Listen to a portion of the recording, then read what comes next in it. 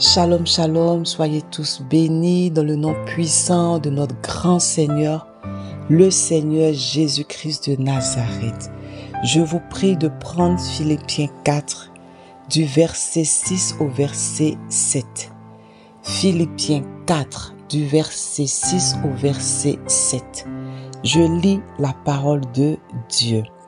Ne vous inquiétez de rien, mais en toute chose, Faites connaître vos besoins à Dieu par des prières et des supplications avec des actions de grâce. Et la paix de Dieu qui surpasse toute intelligence gardera vos cœurs et vos pensées en Jésus-Christ. Mon frère, ma soeur qui m'écoute, à partir d'aujourd'hui, tu ne dois plus t'inquiéter pour ta situation financière, pour ta situation professionnelle, pour ta situation matrimoniale, pour ta santé, pour l'avenir de tes enfants, pour tous les domaines de ta vie. Ce n'est pas moi qui le dis, c'est la parole de Dieu. Dieu qui te parle ce matin. Tu t'inquiétais? Ne t'inquiète plus ne t'inquiète plus. Si tu crois en Dieu,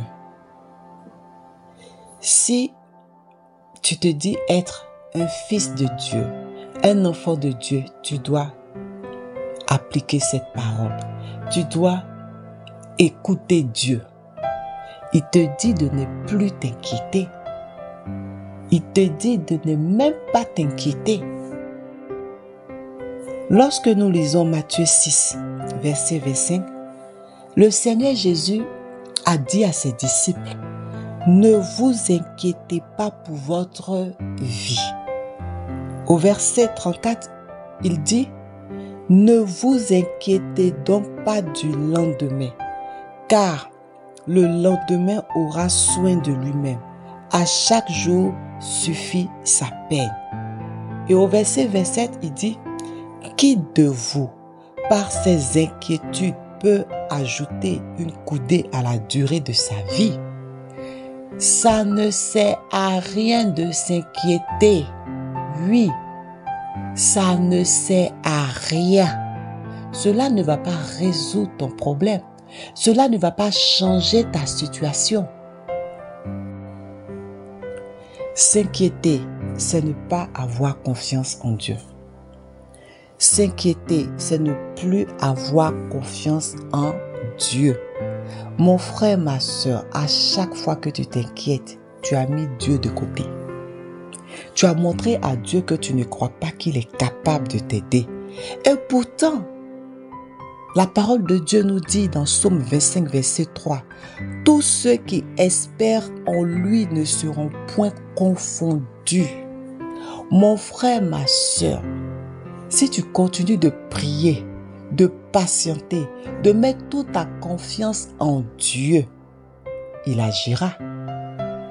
Somme 37, verset 5 nous dit, recommande ton sort à l'Éternel.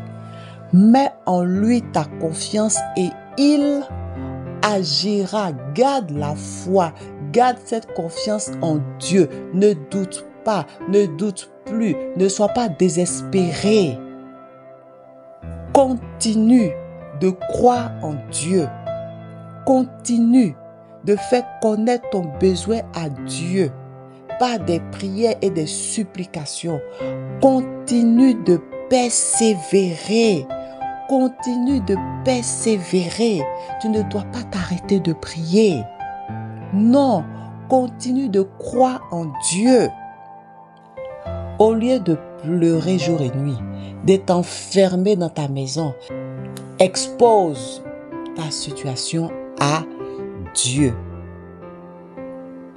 Expose ton problème à Dieu. Par toutes sortes de prières, par des supplications, avec des actions de grâce. Et le verset 7 de Philippiens 4 nous dit quoi?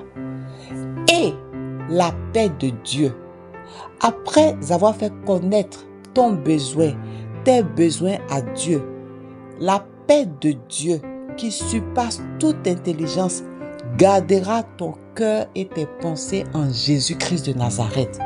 Gardera ton cœur. Donc, ton cœur ne sera point troublé. Ton cœur ne sera plus troublé. Lorsque l'ennemi viendra te rappeler que tu ne travailles pas, tu n'as pas de maison, que tu n'as pas d'enfant, que tu n'es pas marié, tu lui répondras, je sais en qui j'ai cru. Quand tes amis, quand tes parents se moqueront de toi, tu leur répondras, je sais en qui j'ai mis toute ma confiance. Amen, amen. Mon frère, ma soeur qui m'écoute, Dieu te voit. Dieu connaît ta situation. Il entend tes prières et il t'exaucera au nom du Seigneur Jésus-Christ de Nazareth. C'était la sœur Marseille Fagba. Ne t'inquiète